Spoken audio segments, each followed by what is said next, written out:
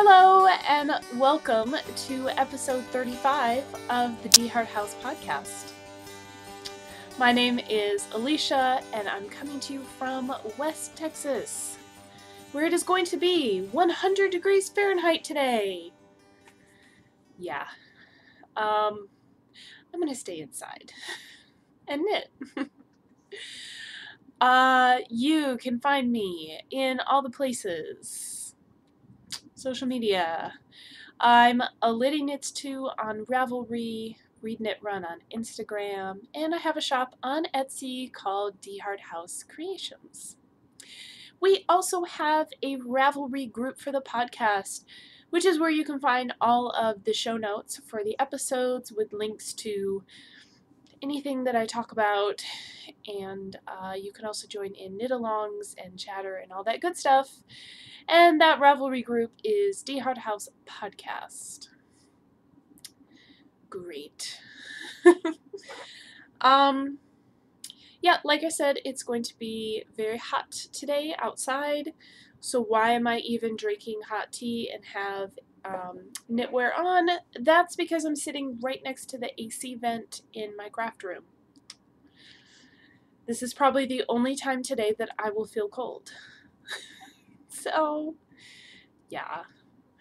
Okay, so I am wearing a shawl that I knit earlier this year called the Raina shawl, which is a free pattern on Ravelry.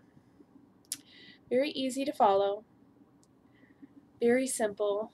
Um, I knit this out of Knit Picks Hawthorne yarn, uh, which is, what is that, Highland wool. Um, yeah, I like this shawl. It's very small, which is nice to have every once in a while, a small shawl, so, yep. And I'm just drinking some black tea out of my knitting mug. And we're getting some glare from my windows. But it says, just pour me, just pour my coffee, hand me my knitting, and back away. yeah. And it looks it looks like a post-it note taped on here, which is kind of cool. Anyway, I'm going to let that cool down a little bit. Uh, yeah, so let me just tell you guys, it has been a very busy few weeks because the semester officially ended yesterday. That's right. We had graduation events all day yesterday, which was Friday. Um, I went to graduation at one of our campuses in the morning, and then I opted out of the numerous pinning ceremonies for our nursing and dental hygiene students um, because we had a plumber come to the house and someone had to be here. Uh, so I was here for that fun. And then uh, yesterday evening was graduation on the campus where I work. So I had to dress up in all my regalia and participate in the ceremony, so which we do every year. Yeah, it seemed longer this year. It's like we had more graduates or something, which we did, than last year. Good things. Um, anyway, yes, I'm so happy. I get a little a little break before summer classes start. So, um, yeah, it's always it's always fun to see the students with their families and congratulate them and um, find out what you know they they've chosen to do with their lives. Uh, I teach at a community college, and so those first two years of college is when you really figure out, um, or you know, most people, not everyone, but a lot of people figure out, you know, where they want to go next, uh, which is really nice to see. So. Yeah, so we had a plumber come by the house, and that was interesting because the line that comes to the house, which brings water from the water main to the house, was leaking. And it's right up, right up in front of the house where it connects. Um, so we shut the water off right there, but it was still leaking out of that joint where the pipes meet. And um, anyway, so we called the landlord and he's tried fixing it before and I, I don't know what keeps happening. But uh, it started doing it when it got really hot outside. So I don't know if the temperature is what caused something to just give way. Anyway, they were out there like three hours yesterday in the heat, which I felt really bad. But at the same time, I was like, yes, please, please fix this thing that's happening. and of course, you know, at first glance, he's like, "Oh, it'll be real easy," and then when they get in there, they're like, "Oh no, there's there's more wrong with it than we thought." Okay, yeah. So I mostly stayed inside. I kept coming out and like offering them water or snacks or something, and I understand they were covered in mud, like digging out this pipe that they had to fix. So I didn't really want snacks. but I felt really bad. So anyway, I stayed inside with Marjorie. Marjorie is our soon-to-be two-year-old uh, lab, and she um, she will turn two in like a week. So she, I don't know why, has been very defensive lately in wanting to bark at everyone, even when they are completely across the street. Like they're nowhere near our house. She has to bark at them and tell them, stay away. So, since these two strangers were going to be up close to the house and like walking back and forth between their truck and everything, I was like, ooh, training opportunity. So, we worked on being quiet when people are walking around outside. She did pretty well. I mean, this is the only time I've done it so far, and she did pretty well, so I'm happy. And then this morning we went on a W. She's in the room. I can't say the the trigger word, you know. But uh, we went for one of those this morning, and oh my gosh, really good. We have been working very hard on not pulling on the leash, right? And this morning was just like, it was first, well, it started off really bad because there was a stray cat in the neighbor's yard, and she was all like, let me play with the cat. I'm going to pull your arm off of your body if you don't let me go over there. So we had to like divert, take a different route than usual. And uh, and then there weren't any distractions after that, and it was just perfect. So, because it was so wonderful this morning, I'm sure tomorrow morning it will be just crazy bad. So, that's how it works, right? anyway, yeah, so, uh, because it was, you know, the last week of classes, final exam week, get all your grades in, go to graduation. Uh, it has been very busy. So, um, yeah, I haven't done much knitting, uh, but I will show you. I, I I say I haven't done much knitting. I'm almost done with the baby blanket, so let me just show you guys. Okay, so knitting.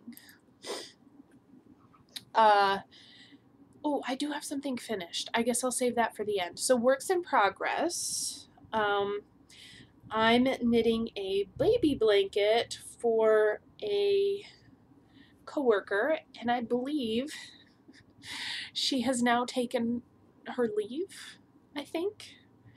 Uh, so this is unfortunate. I did not finish it so I could give it to her before she took time off. But whatever. I'll give it to her when she comes back. It's not a big deal.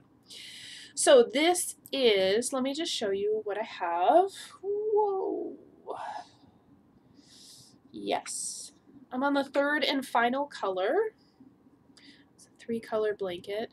So the pattern is the blended brioche baby blanket and the designer's name is evading me right now, but I do have it linked on my project page on Ravelry. Uh, this is a paid for pattern. It is not free, but it was very reasonable. So it's a brioche pattern, and uh, in the pattern, she uses five colors, and they're speckled, and it's almost like a fade kind of thing. Um, I obviously did not go that route. I went with three colors, and they're solid, but you do one color brioche and then two color brioche to blend between the colors and then one color brioche in the new color and etc right? So so I am doing the one color brioche now with the last color and then I'll finish off the border. There is a border running around the whole thing. Um, so yeah, it's it's rather large. Um, yeah, but I like it. It's really fun.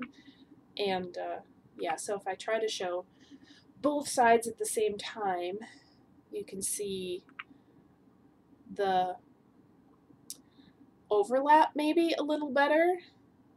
So yeah. Anyway, I'm having fun with it. It is super mindless, and that's saying something considering the whole thing is brioche. So, uh, if you're not familiar with brioche knitting, it is a reversible um, style of knitting, and maybe I'll go with two more contrasting colors to show you. But, like, um, for this side, the green is dominant. And if I flip it to the other side, the blue is dominant. But you can still see the non-dominant color through the work, which is which is fun. But um, yeah, you end up knitting each row twice because you had to do it with one color and then with the other color. So it's taken longer than I thought it would. And I knew that. I picked a brioche pattern and I was like, whatever, it's what I want to knit, so it'll be fine. And it is. I'm I'm chugging away. I just do a little bit here and there. And then sometimes binge watch and binge knit and then there we go because I am totally binge watching Criminal Minds, which is an amazing show on Netflix and uh. So, okay. So the pattern is blended brioche baby blanket. It's linked on my project page for this project. I am using, um, oh look, I have a tag right here. this is my tag box Okay, this is a box from Craftsy, which I used as a lazy Kate at one point, so it has holes in it. so, um, but I just throw all my yarn tags in here. Um, once I've either finished knitting with it or I just find yarn labels all over the house because I'm terrible and I just scoop them all up and throw them in this box. And so if I ever need to find my yarn label, I can because you can kind of remember what you were using. Uh, but this way I have them all in one place. So, but uh, it's Baby Bee Sweet Delights in three different colors. One of them is Infant Teal. Um, and it's just, uh, it's from Hobby Lobby. It's acrylic yarn, so um, they can just throw it in the wash and not worry about it being wool because it all, all it's all acrylic, acrylic and polyamide.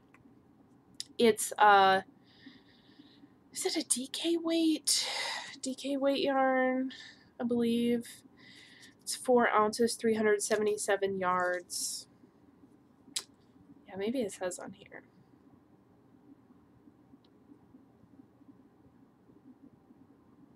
It doesn't say, but it's got that tiny little skein down there with a three on it. Light. Three. Light.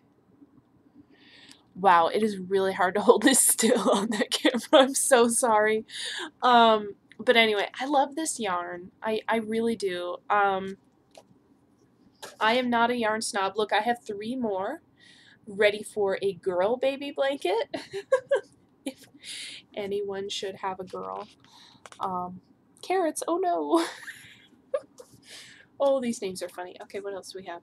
Oh, baby red. I don't, baby red. It is not red. Wow, no, it is pink. It's pink, it's not red.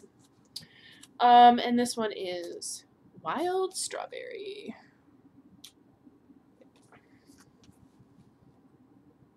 It looks red on camera, but it does not look red to me.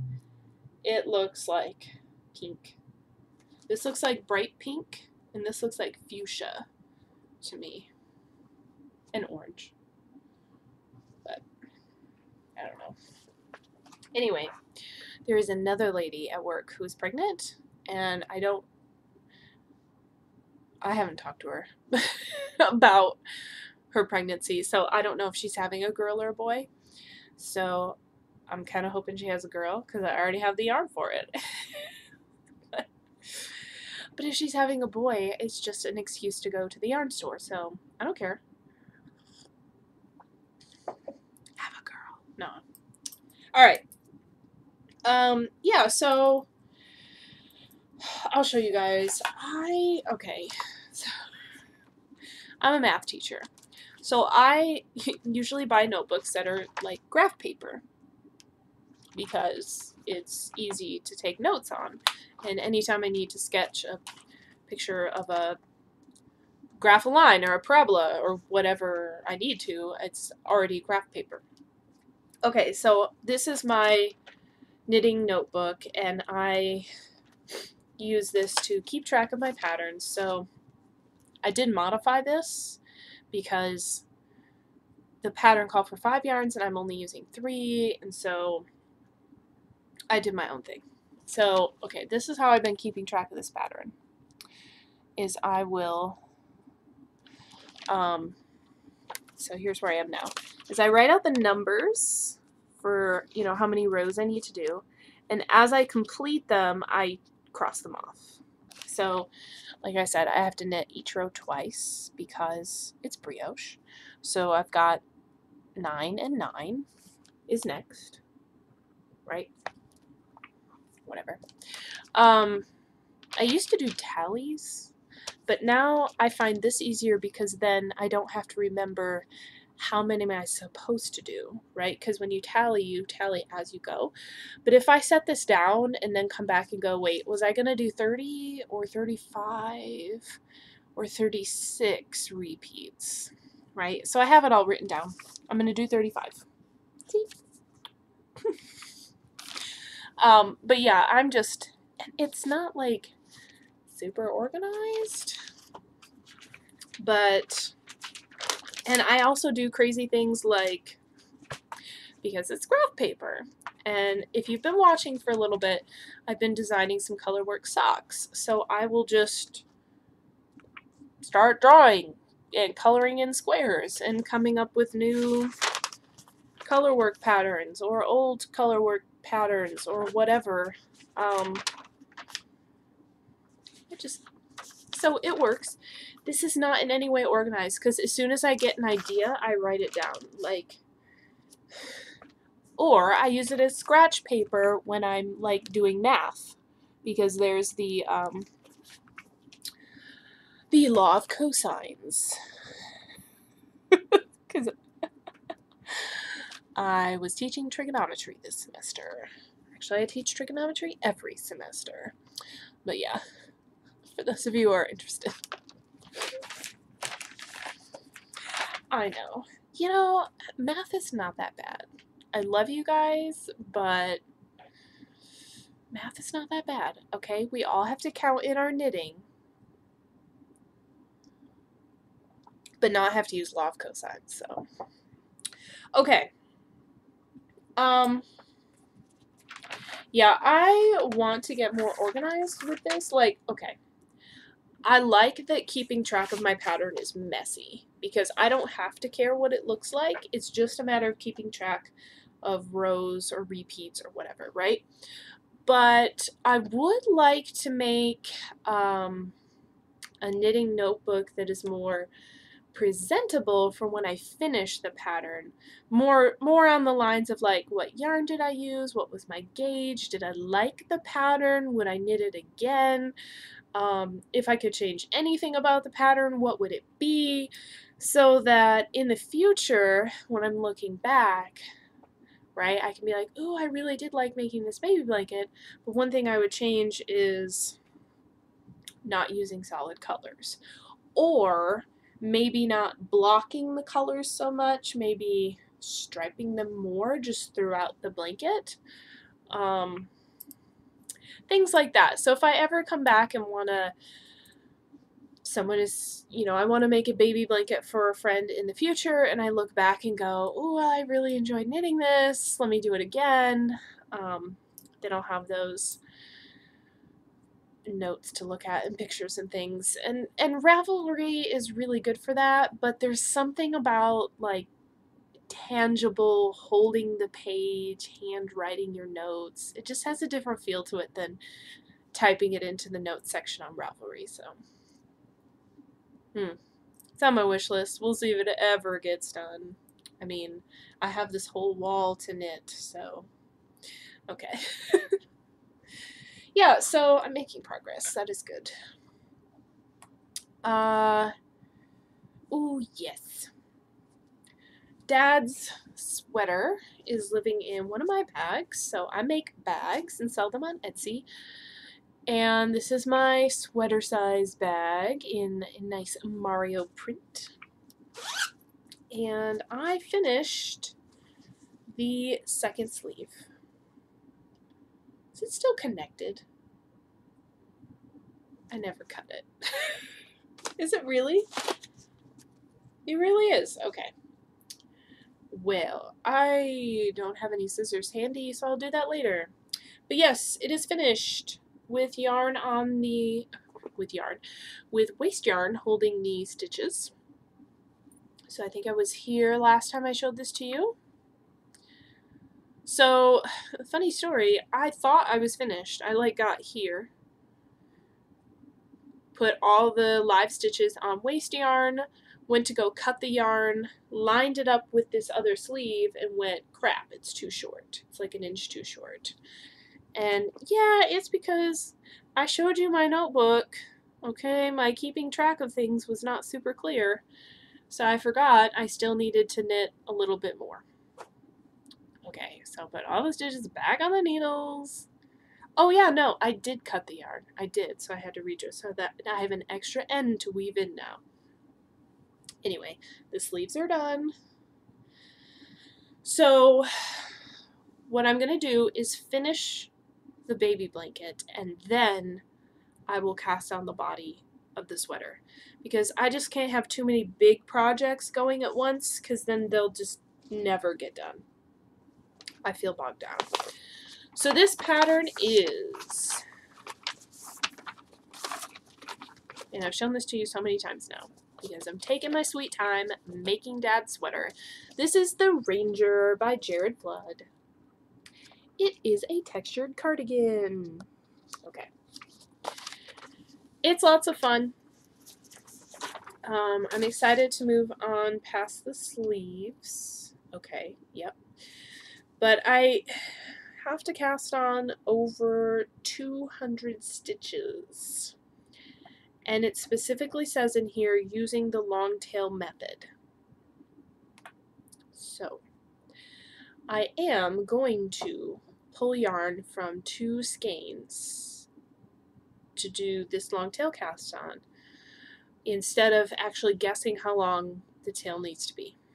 Because, oh my gosh.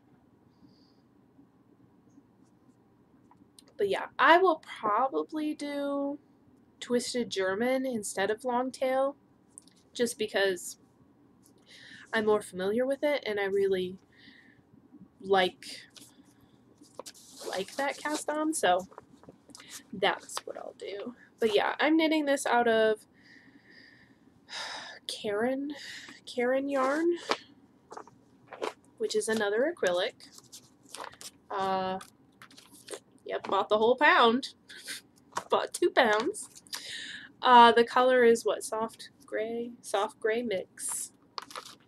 So it's got a little bit of a heathering look to it. Not that you can tell with my lighting and stuff. It's a really nice gray. And it will go really well with all of Dad's things. So, yes, I'm very happy. Very happy. So, what I will end up doing is knitting the body of the sweater from the bottom up, join the sleeves back on, and then knit the yoke. And then I'm assuming, I haven't read that far ahead, come back and do the button band. So, yes. Oh, and the AC just turned off.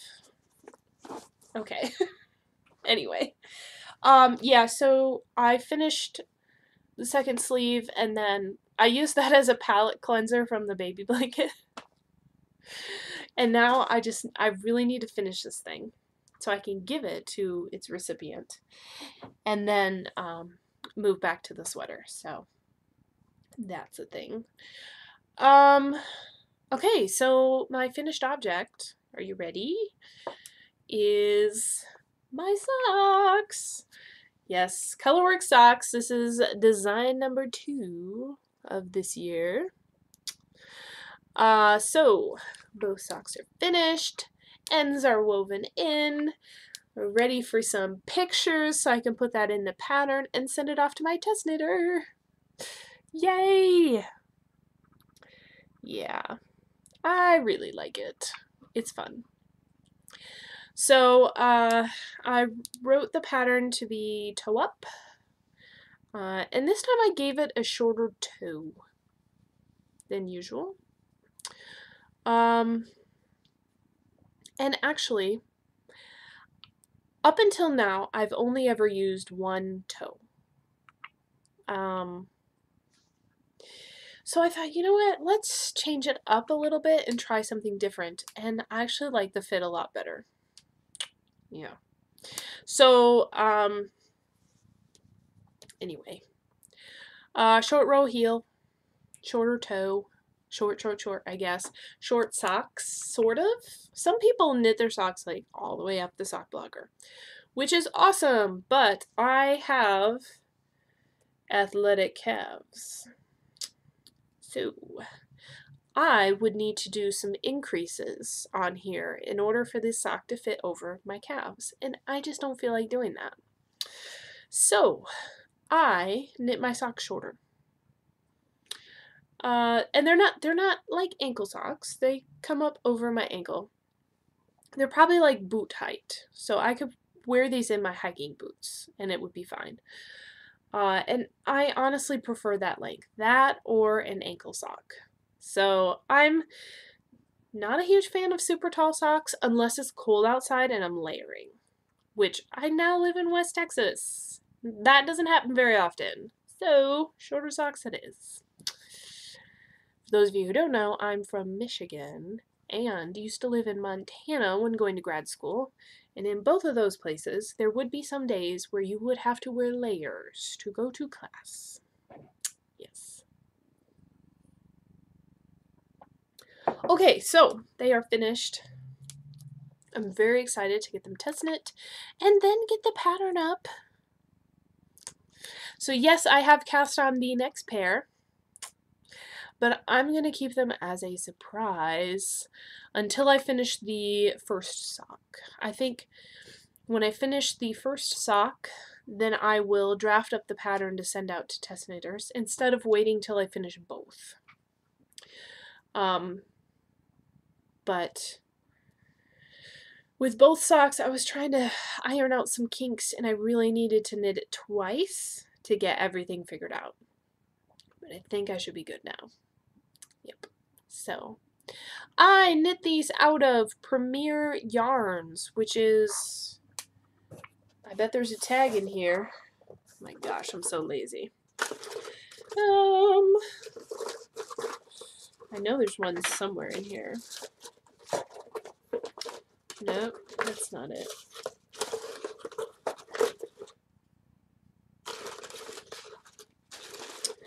Ah, there's one. I was just about to give up. Okay, so Premier Yarns, Serenity Sock. I got this at a very good price on Black Friday. Yes. So this is 25%. Oh, here we go. 50% superwash merino wool, 25% rayon, and 25% nylon. So it's like half wool, half man-made stuff. So it's very soft. It's very easy to work with. Um, I like the colors. I think they work really well together. So, yeah. I'm happy. But, um, really any fingering weight yarn would be fine as long as you're comfortable with that composition being a sock. So,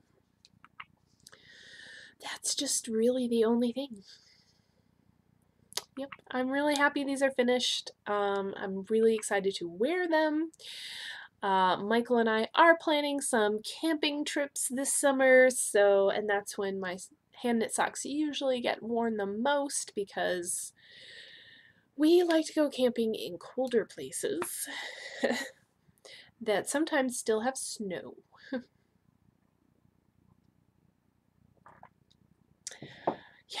so that is that. Um, on sort of a separate note, I've been doing some spinning. And I have it on the floor here. So I got a Turkish spindle at DFW Fiberfest. And when I wasn't knitting on the baby blanket, I was spinning. And I did quite a bit of spinning for me, who's pretty new to spinning. Uh, and I went ahead and watched a bunch of YouTube videos about Turkish spindles. And some of that was about how to wind your yarn onto your spindle. And what do they call this? A god's eye or something? Anyway. Oh yeah, I had fun with that. so, um, yeah, so I'm just spinning up some merino uh, merino wool and it's just a natural gray. Excuse me. I'm keeping this in a basket and I just set the whole thing in here. Um, oh, and then toss it out the other side. Uh, but yeah, I've been, before it got crazy hot outside, which, hello, when did summer get here? Like, what on earth? Uh, when it was not 70 degrees already when waking up. Like this morning, it was already 70 degrees outside when we got up. It was 75 when I took, um, you know who with four feet for a you know what. Uh, yeah, it was 75, and it was morning still.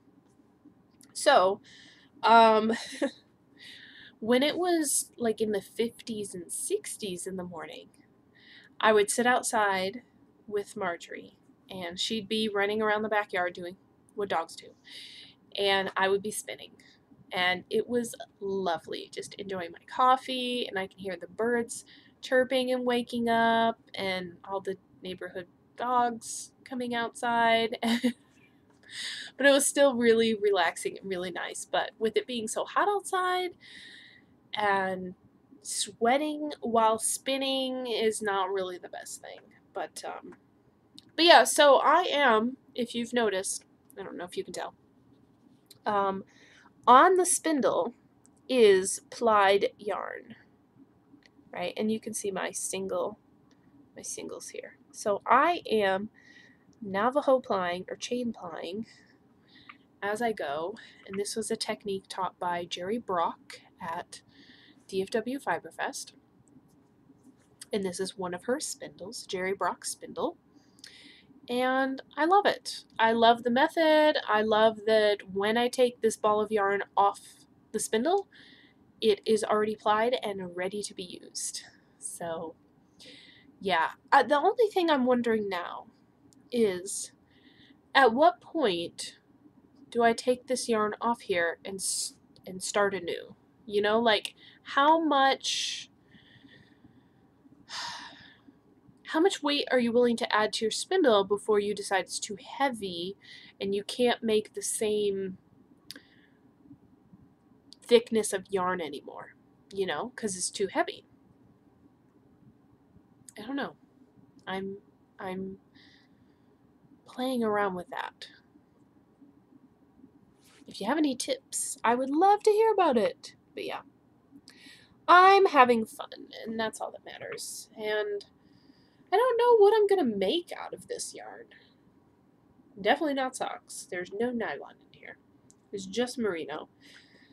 Maybe like, ooh, maybe in a, uh, it is not a scarf and it is not a cowl. What is this? Shawl. Jeez, it's called a shawl. Maybe in a shawl. Anyway, I'm having fun with it and I love it. Um, yeah. So you can see I haven't done much. It has been busy at work. So I'm going to take this weekend to relax, do more knitting, maybe some sewing because I haven't done that in a while. I have no bags to show you. Um, terrible. So yeah, I'm going to do that. And then while I do get like time off before summer starts, I do have to prep for my summer class, like get all my online platforms ready to go with new due dates on homework and all that stuff. So it's not like I'm completely off from work, I mean, I could be, and I could just put all of that off and procrastinate until the very last minute and then be a ball of stress. Or I could do a little bit each day. So I'm not a ball of stress. All right, so that concludes the knitting portion of this podcast. Um, and really the podcast. I mean, I've been trying really hard with my fitness and working out and stuff. Um, I'm just taking it one day at a time because it's really all you can do. And as much as I like to see, okay, I like to see progress. And with knitting, it's, I mean, you just watch your projects grow until they're finished and the, the progress is right there in front of you. But when you're trying to like lose weight and get in shape, you have all these ups and downs depending on like everything else that's going on in your life. And even if you do everything right, sometimes you still don't lose weight or show progress in the way you want to see progress. So I'm trying not to like I'm a numbers person. I teach math. So tracking progress using numbers is something I do. And to tell myself, ignore the numbers, just focus on how you feel because I feel amazing. I feel so much better now that I've started like being serious about working out. I feel like I have more energy. I can get through a longer day and not need a nap or 16 cups of coffee. Um, not that I've ever drank 16 cups of coffee in a day, but I felt like I needed 16 cups of coffee. Uh, so, yeah, I just need to focus on, on those things that when we go on our backpacking trip, I'm going to be able to do it and not just feel tired the whole time and that's what I want. That's what I want to be able to do is when we go on our vacations, our camping trips, that we're not having to like stop and take a break every 20 minutes from setting up the tent or whatever.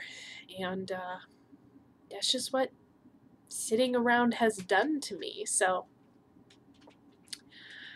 anyway, yeah. Thanks for sticking around. I am now in like talk about random things mode. So I'm going to call it a day. Thanks for watching. Thanks for sticking around. Be sure to hit subscribe on your way out. And uh, if you, at any point, would like to be a test knitter for Colorwork Socks, okay, I have a thread in the Ravelry group, the DeHart House podcast Ravelry group. Uh, I think it's called Test Knitters or Test Knitting, something along those lines. Um, and just throw a, comment in there saying you, you're interested in test knitting. Uh, this is currently the pair that is up for test knitting. Okay, and I do have a picture in the thread that says currently up for test knitting and picture of, of said socks. So, um, yeah, I'm happy to have more test knitters than just one if you're interested. And you get the pattern for free by doing that. Okay? Uh, I really appreciate it. It's awesome. So, yeah, if you're interested in that, please let me know. I, I would really, really like that.